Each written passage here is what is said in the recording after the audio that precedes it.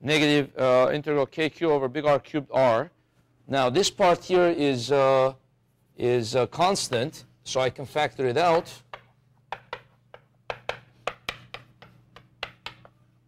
Integral of that is going to be r squared over 2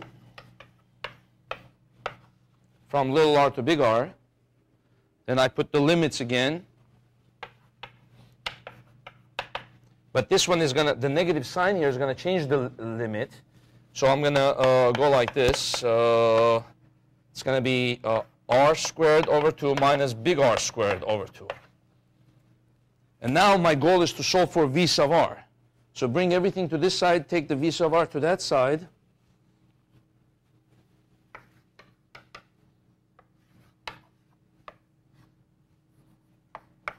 multiply this in. So I'm going to take this to the other side, all right, and then it'll be negative kq over r cubed, r squared over 2 minus r squared over 2. Now, put in what is the potential at the surface? What is V sub r for a sphere? I mean, yeah, for a sphere. It's kq over r squared. So put that in and then combine all the like terms.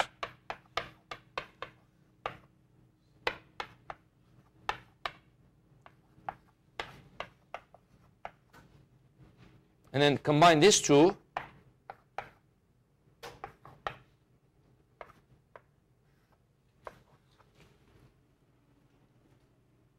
No, sorry, uh, potential at the surface is kq over r, not r squared. Uh, kq over r. And now add this to that, they're, they're like terms. It's going to be 2, 2, that's going to be 3 over 2r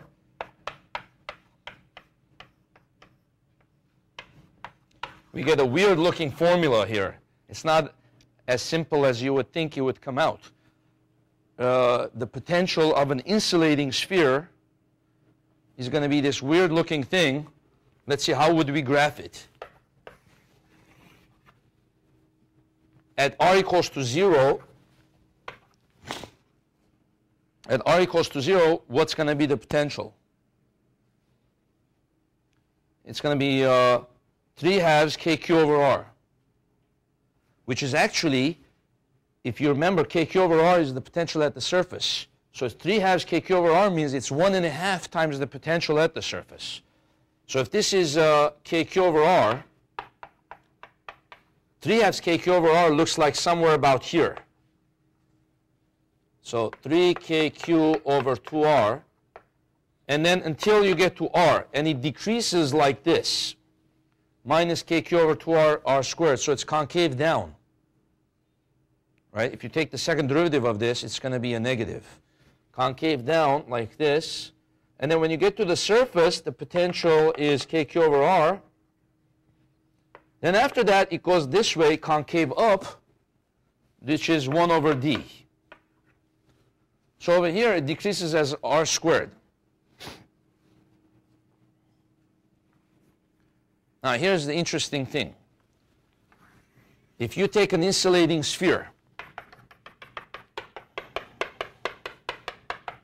and I put a little charge at the, little, at the center, little charge, little q. So you take an insulating sphere, charge all over the place. I take a little q, I put it at the center. What happens to that charge? The little q. What's the electric field there? Well, go to the electric field graph. The electric field there is zero, right at the center. Okay? And the potential there is one and a half times the potential at the surface.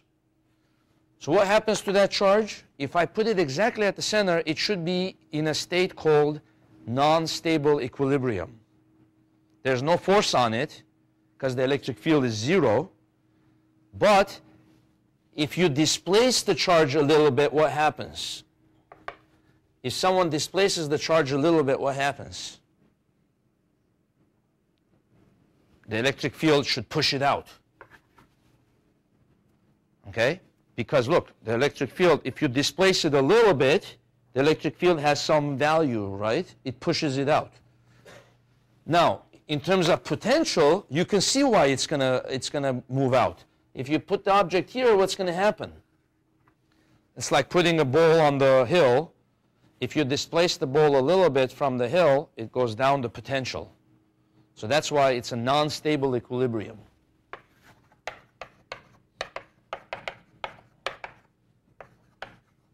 So this uh, ties into what we learned in Physics 1, right?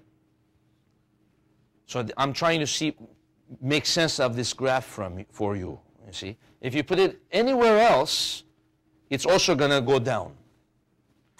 Okay, how about if, we, you, uh, if I tell you find the potential of an insulating sphere non-uniform density?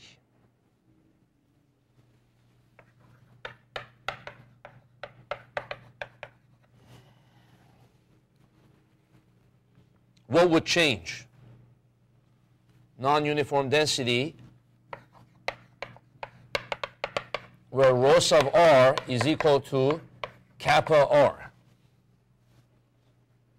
I believe we also did that back in chapter 24.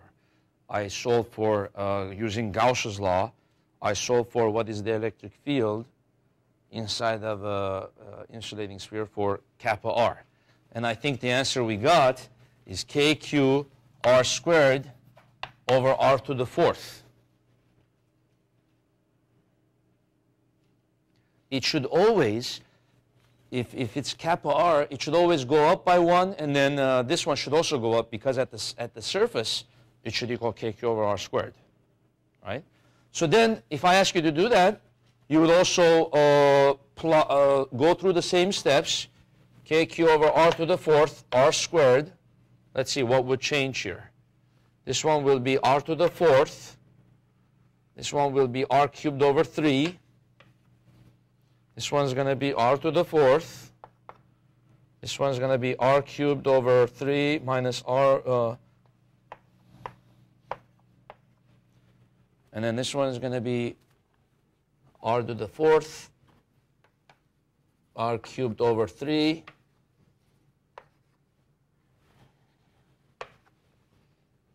So this one's still going to be kq over r. This one's going to be kq r cubed over 3r to the fourth.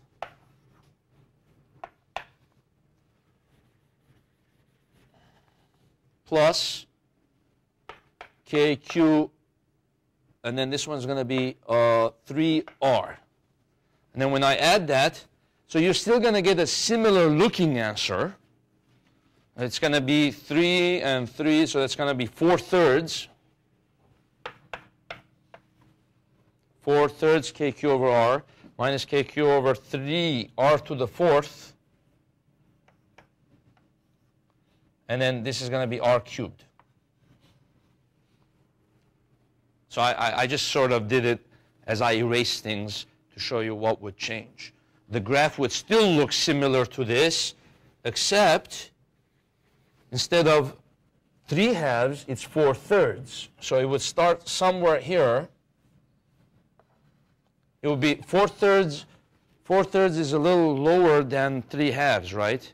So it would start a little bit here. Then it'll go r cubed. It'll look like this.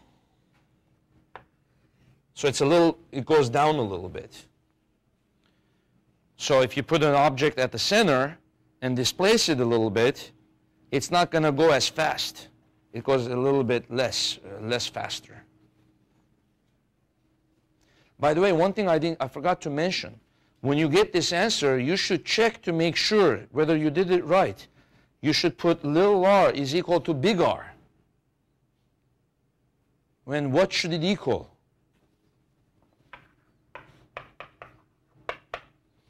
If you put little r is big R here, big R cubed over big R to the fourth.